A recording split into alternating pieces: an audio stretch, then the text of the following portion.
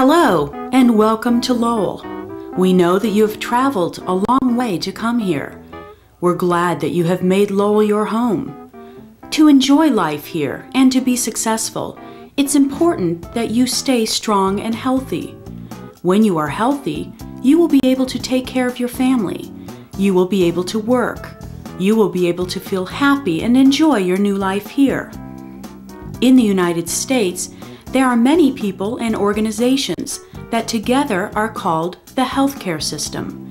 This video will help you to understand the most important things about the healthcare system in the United States and in Lowell. The first thing to know is that healthcare is very expensive in the United States, so most Americans use health insurance to pay for their healthcare. What is health insurance?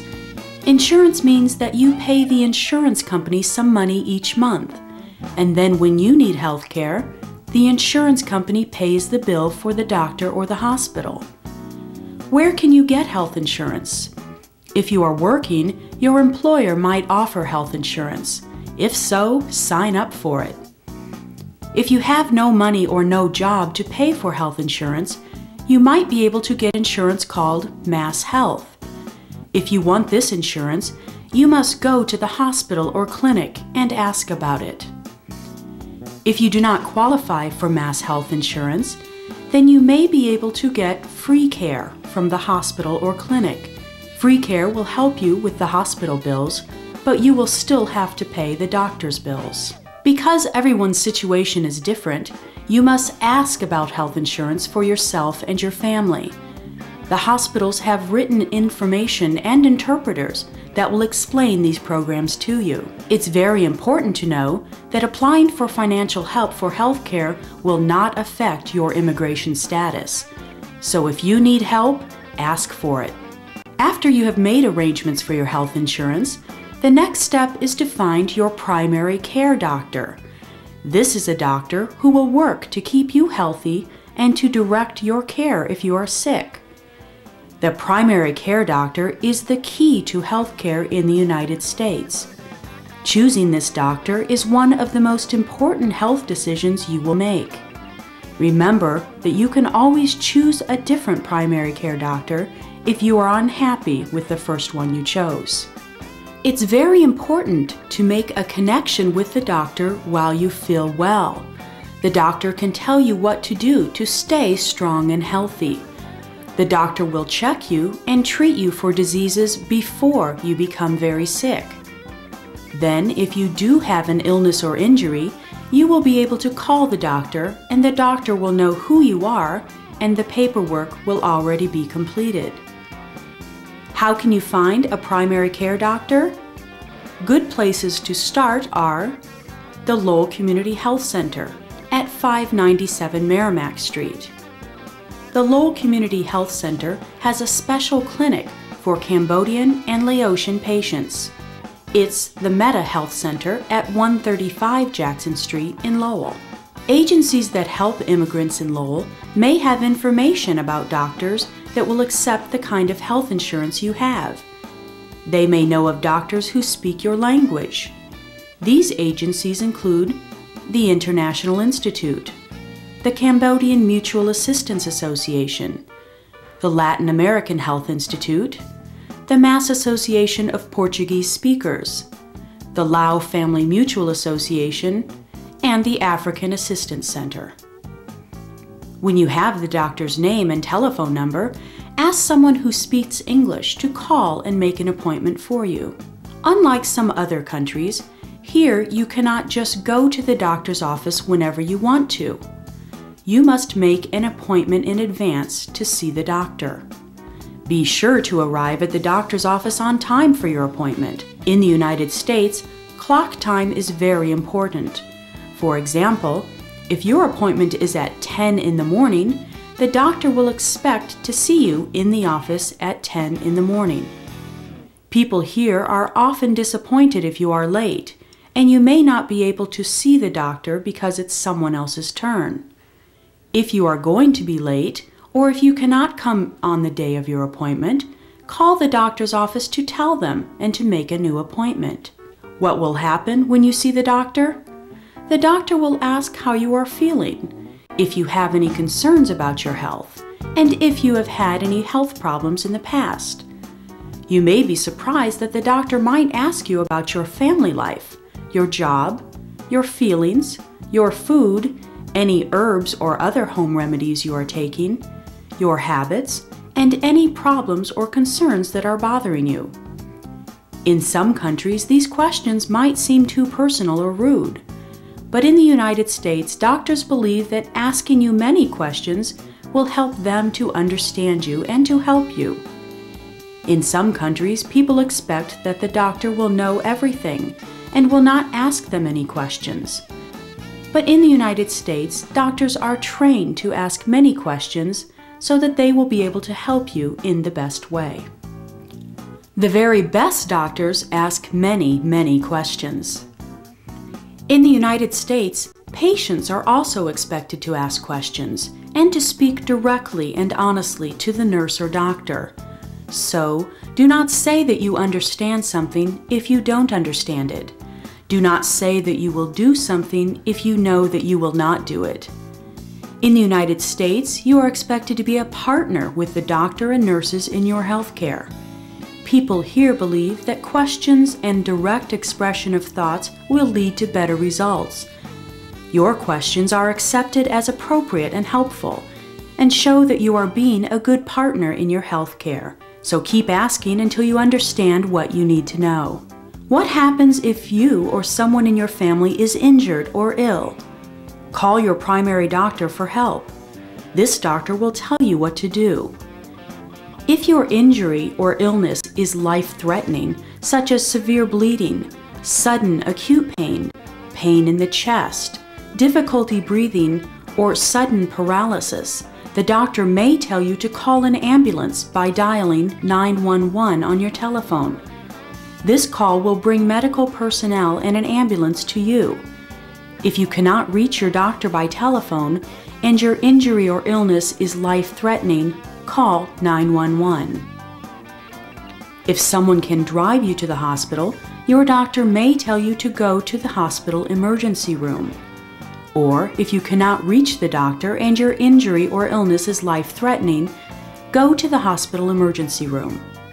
There are two hospitals in Lowell Lowell General Hospital and Saints Memorial Medical Center. The emergency rooms in these hospitals are only for emergencies. That means for illness or injury that you believe are life threatening. If you go to the emergency room and it's not an emergency, you will have to wait a long time to be seen by the doctor. You will receive only limited treatment, and you will have a large bill to pay. Do go to the emergency room if you or a family member is really sick, but don't go there for anything else. For routine medical care, call your primary doctor for an appointment. Sometimes your doctor may tell you to go to the hospital, but not to the emergency room, for tests, treatment, or surgery. You will have an appointment for this care. If you don't speak English well, ask the doctor to tell the hospital that you will need an interpreter. Hospitals will provide you with an interpreter. There is no cost to you for this service. Even though you have friends or family members who speak English, it's best to use the interpreter that the hospital provides. This interpreter has received training in medical terms and will know best how to explain to you what the doctor or nurse is saying. He or she will also be able to answer your questions about the healthcare system. When you go to the hospital on the day of your appointment, be sure to come to the appointment on United States clock time. Bring your insurance card and bring with you all the medications that you have been taking. The doctor will want to see what medicines you are taking. It's important to know that in the United States you may be treated by many different people. It is believed here that no one can be an expert on every health problem, so different people are trained to do different tasks. There are nurses, technicians that can operate some of the testing equipment, people who are trained to draw a sample of your blood, and even other doctors who are specialists in certain body systems and diseases. Your primary care doctor is the person who approves all your care and gets reports from these people about the results of your tests or treatments. This is another reason why you need to be connected to a primary care doctor to get the best care. You will discover that the healthcare system in the United States is focused primarily on science and scientific treatments. This is a system that has treated the body as separate from the mind and spirit. Your doctor will probably not suggest any spiritual healings or other kinds of treatments that may be more familiar to you. But your doctor will want to know about any other ways you are treating yourself. And most doctors will be interested in knowing what you believe is the cause of your illness and what you believe will cure your illness. Often, the meaning of health can be very different in countries around the world. Your primary care doctor will prescribe medications that you may need. This means that the doctor will write an order for the medication which you must take to the pharmacy. There are many pharmacies in Lowell. Unlike some other countries, you cannot get certain medications from the pharmacy unless you have the note from the doctor. This is another reason why having a primary care doctor is so important. There may come a time when you or a family member is ill and your doctor recommends a stay in the hospital overnight or for several days. Hospital procedures can be confusing, so be sure to ask for an interpreter if you don't speak English well. Ask about what will happen. Ask about anything you don't understand. Tell someone about whatever is worrying you, how you feel, or whatever you need to feel better. Most people in the United States have been trained to express themselves directly and expect that you will also.